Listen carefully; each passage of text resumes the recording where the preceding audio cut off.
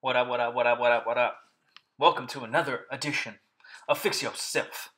Or actually, I'm Silent Mike, and I'm here to fix yourself.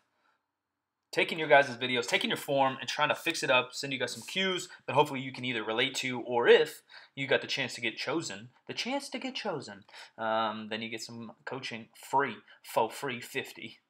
Uh, this squat actually looks pretty dang good. Uh, you can notice on the first couple reps. One, I don't like his walkout. Try to make that a little more efficient, and that goes for everyone. Two uh, to maybe three steps. Uh, four if you have to, but make them deliberate, make them strong. Um, the other thing is you could see his chest rise a little bit, and that what what's that telling me is that you're not breathing into your stomach. Breathe into your balls. Breathe into your glutes. Huh? Uh, what I need you to do is breathe 360 into your lower stomach, sides, and low back. That's going to stabilize the spine. You're going to breathe and brace down. If you're breathing into your chest, that means that you're not bracing. The intra-abdominal pressure, the Valsalva maneuver, all these terms you guys can Google and get some more um, visuals on. I've also done a lot of videos on it. But uh, what we want to do is create stability from our hip to our shoulder, uh, and that'll allow us to transfer the power into the ground or through the ground, excuse me, into the barbell. Uh, the other thing I see is I know some of those were slow mo. Uh, many people will descend into the hole too fast, um, and then when they try to uh, find position to squat back up, they lose balance, hips shoot up, and they try to find tightness.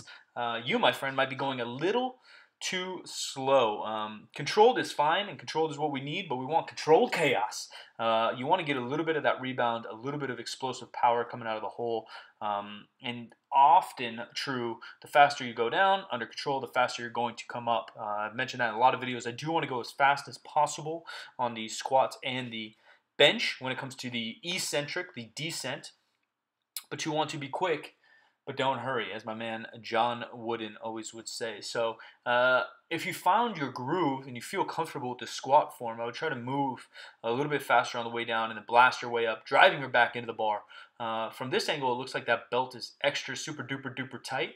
Um, what I would recommend is loosening that thing just a little bit, maybe one notcher, uh, and that will also reinforce you to breathe into the belt, to push your stomach into the belt, push your sides, the love handles, the obliques into the belt or push your low back into the belt, and that will create um, the stability that we want in that midline. We got more squats. I like the view already. Thanks for that, buddy. Uh, again, with the walkout, we want to make that more efficient. We want to make that more deliberate, and that probably goes for everybody listening. This form looks really, really solid, man. Uh, really, really solid. Pace is good. Head's moving a little bit. You want to lock that thing in. Wherever you want to keep your head, I would keep it there. Let's just take a second to admire the display the premiere of the brand new logo in the background. We got the basic logo, the Silent Mike branding. We'll go into detail if you guys want on it another time. Uh, the squat does look good, so you got a ridiculous low bar position, which is good. Hands are very tight, elbows are tight. It looks like your back is tight. We want to make that walkout efficient.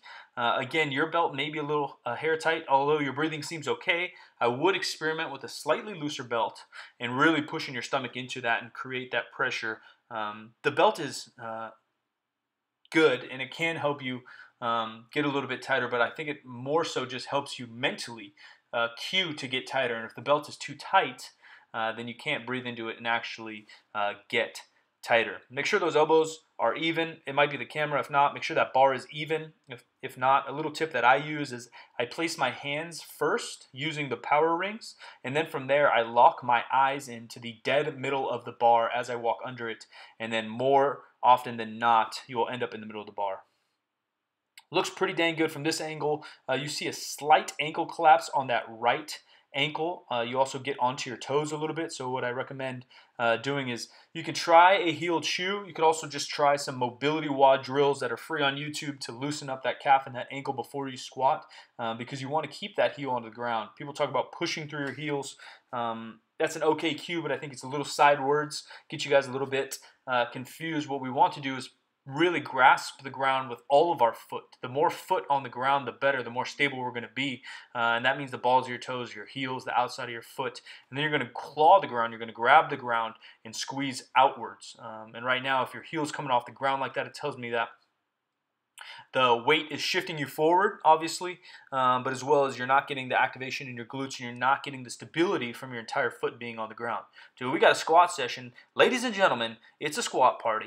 Uh, a little bit more efficient walkout, not too bad. You got those basketball shorts on. It's going to hard to see what's going on. Not bad. Uh, I don't know if you're doing a pause squat on purpose or if that's a, just a habit um, or if it's an inconsistent habit. But what we want to do is find pace. Pace is very important in the squat, bench, and deadlift. Um, the form is important. Staying tight is important. Um, technique, bar path, all that. But the pace of the lift going up and down, concentric and eccentric, I find the groove and the speed that you move through that groove are just as important hitting PRs. Uh, we got a hair uh, bit of butt wink, which kind of means your hips are rolling under you. Sometimes butt wink, your hips roll behind you as well. Um, and that can just be some mobility stuff in the hips. It means um, you could have tight hips. It means you could be sitting uh, too much, too often with poor posture. What I recommend for many people, just in general, is you could do some air squats on days that you're not training in the gym uh, if you're sitting at a desk job, get up and walk around. Get a standing desk so you can do half the day standing, half the day seated.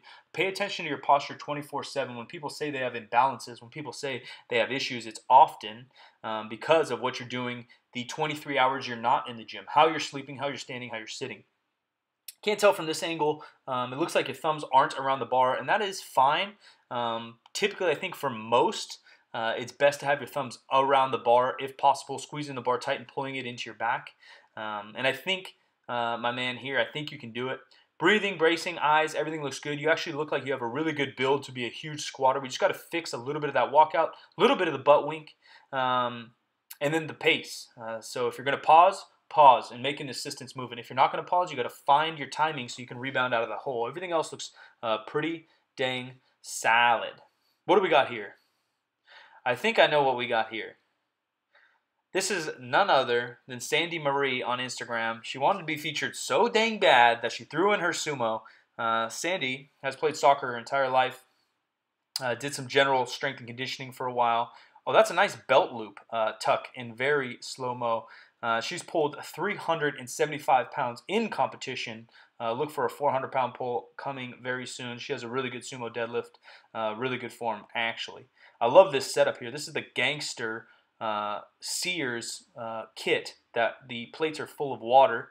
My man's actually got really good form, really solid form. You see a hair Actually, looks really good, man. The barefoot, the squat rack looks so, short as shit. So you can see him breathing into his shoulders a little bit there. You see the bar bounce up and down. When weights get heavier, you get into the four, five, six, uh, 700 pounds, you'll see the bar start to wobble more. So what you need to do is, uh, one, you need to breathe into your stomach for that stability, for that transfer of power, as I mentioned. But two, uh, you don't want that bar wobbling around. You want it as sturdy as possible so that you can just focus on pushing. Look at the quads popping out. What kind of shorts are those? This guy's fucking bodybuilder or something?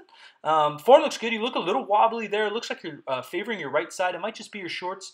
Uh, something that may help that if you have some imbalances in any lift is unilateral movement, so a lunge, a Bulgarian split squat, but as well as tempo squats. I've talked about this in a lot of videos. Um, three seconds to five seconds on the way down, maybe pause, and then three to five seconds on the way up will really teach you how to find positioning. You're going to use anywhere from 40 to maybe even 65% of your one rep max. I like where the bar is. I like where your head's at. You could probably, um, because your torso is so upright, you could probably look a little bit more on the horizon, eyes and chin up just a hair.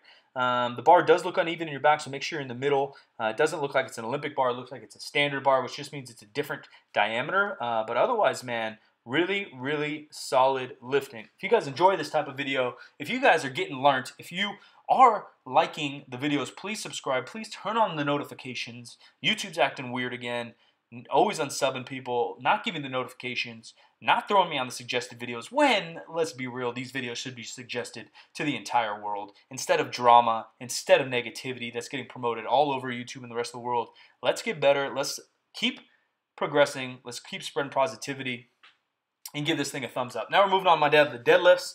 Uh, looks like he's actually got a pretty dang good build for deadlifts. Shorter torso, longer arms, uh, and femurs somewhere in between. He's looking up at that guy's butt. Solid. So um, it looks fairly heavy. Remember, if you guys send these videos in, send it 70 to 75%. That almost looks like a one rep maxer. Uh, maybe he's nervous. Maybe he's just tired. Maybe he's fatigued. Uh, what I suggest for you, my friend, is to move that stance in a little bit. Uh, there's nothing wrong with wide stance uh, deadlifts, but often you'll reduce that range of motion even more and be a little bit comfortable, uh, more comfortable with your feet under your hips, just under your hips, or even more narrow. Uh, the second thing I suggest is to keep that chin tucked a little bit more. Your eyes are way up, chin's way extended. and it can cause some dysfunction in that spine.